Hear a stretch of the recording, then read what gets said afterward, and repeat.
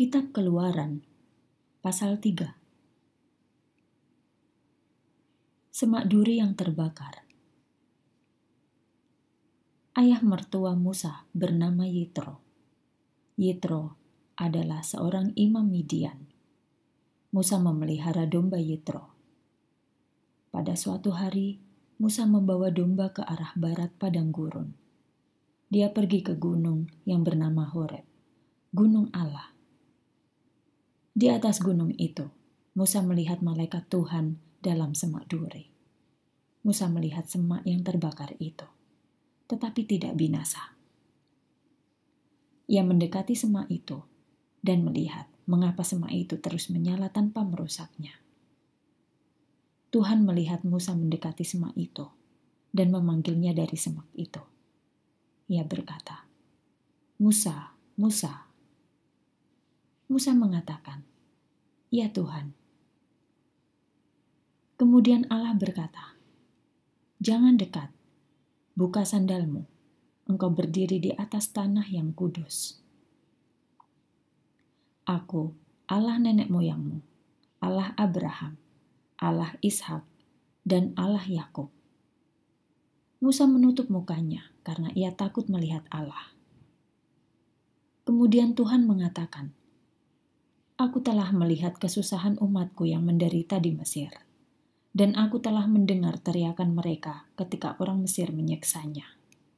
Aku tahu tentang penderitaan mereka.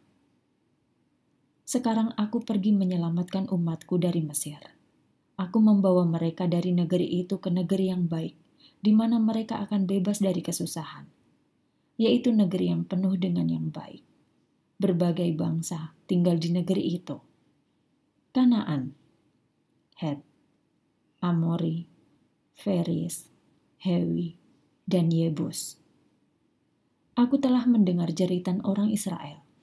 Aku telah melihat cara orang Mesir membuat hidup mereka berat sekarang aku mengutusmu kepada Firaun.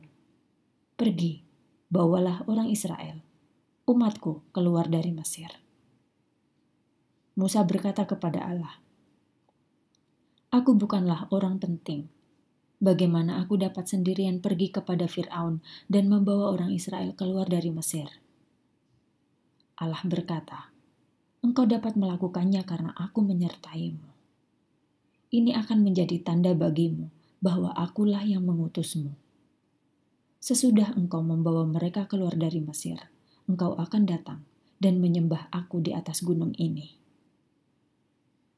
Musa berkata kepada Allah, "Jika aku pergi kepada orang Israel dan berkata kepada mereka, Allah nenek moyangmu telah mengutus aku, mereka akan bertanya, siapa namanya?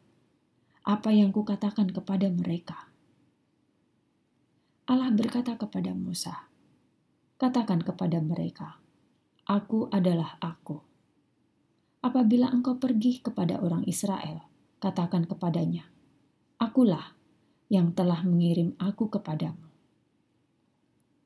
Allah juga berkata kepada Musa, "Inilah yang kau sampaikan kepada mereka: Yahweh adalah Allah nenek moyangmu, Allah Abraham, Allah Ishak, dan Allah Yakub. Namaku selalu Yahweh. Dengan demikianlah orang akan mengenal aku turun-temurun.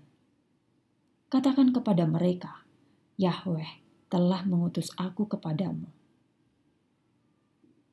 Tuhan juga mengatakan, Pergi dan kumpulkan tua-tua Israel, dan katakan kepada mereka, Yahweh, Allah nenek moyangmu, telah menampakkan diri kepadaku Allah Abraham, Ishak, dan Yakub berbicara kepadaku. Katanya, "Aku telah memperhatikan keadaanmu, dan aku telah melihat bagaimana perbuatan mereka kepadamu di Mesir. Dan aku telah memutuskan untuk membawa kamu keluar dari penderitaanmu di Mesir. Aku membawa kamu ke tanah yang sekarang menjadi milik bangsa-bangsa yang berbeda. Kanaan, Het, Amori, Feris, Hewi, dan Yebus.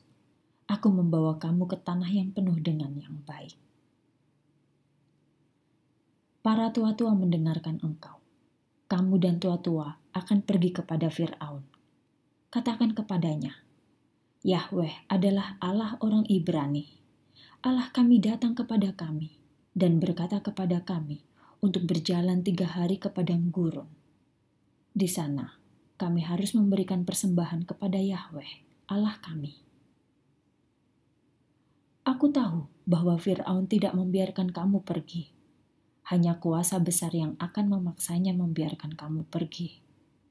Jadi, aku memakai kuasaku yang besar terhadap Mesir. Aku mengadakan tanda-tanda ajaib di negeri itu. Setelah aku melakukannya, ia akan membiarkan kamu pergi.